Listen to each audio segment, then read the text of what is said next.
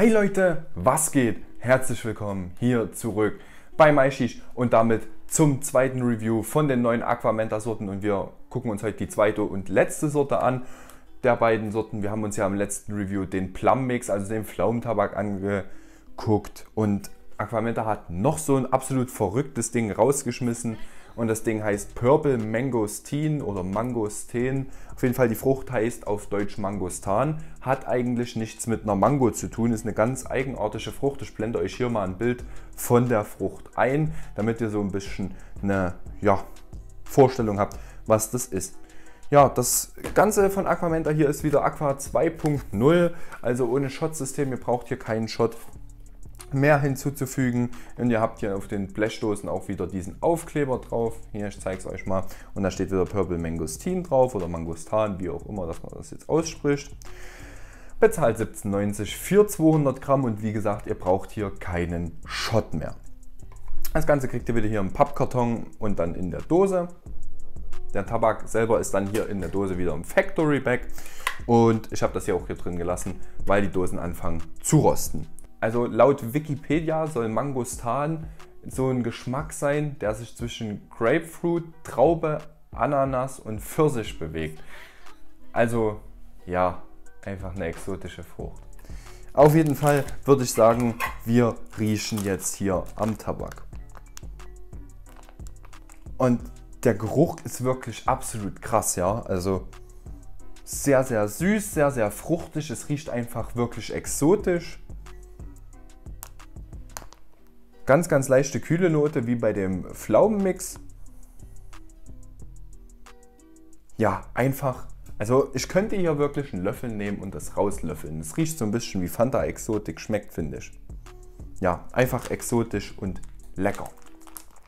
Dann blende ich euch jetzt hier wieder ein Bild vom Schnitt und von der Feuchtigkeit ein. Das Ganze ist wieder Aquamenta typisch, mittlerer Schnitt. Feuchtigkeit sehr gut eingezogen. Dann packen wir das Ganze hier wieder in die Dose und ich blende euch jetzt hier an der Stelle ein Bild vom Kopfbau ein.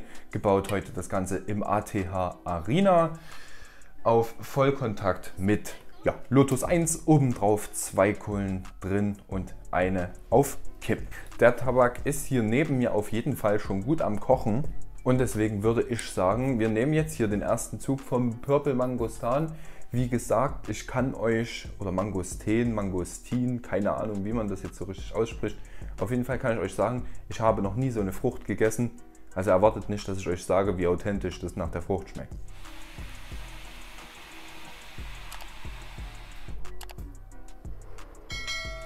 Zur Rauchentwicklung brauche ich glaube ich absolut nichts sagen. Raucht Bombe, Aquamenta gewohnt. Ja, das raucht einfach sehr, sehr gut. Und wie ist es jetzt? Geschmacklich, weil das ist ja immer am wichtigsten eigentlich.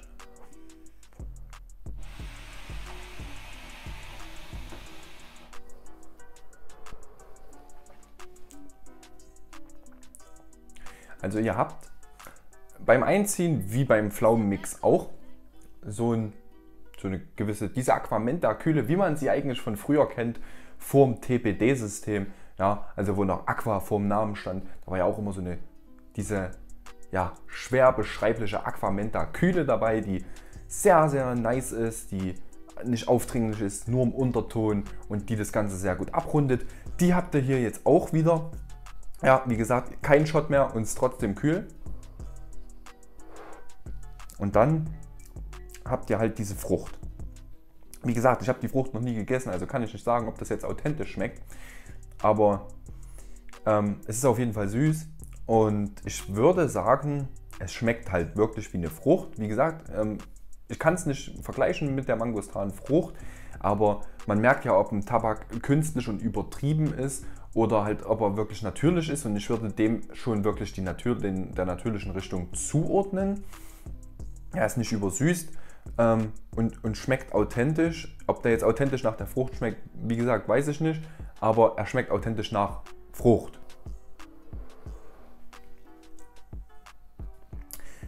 Der Geschmack hat tatsächlich von der Ananas die Süße und diesen typischen Geschmack.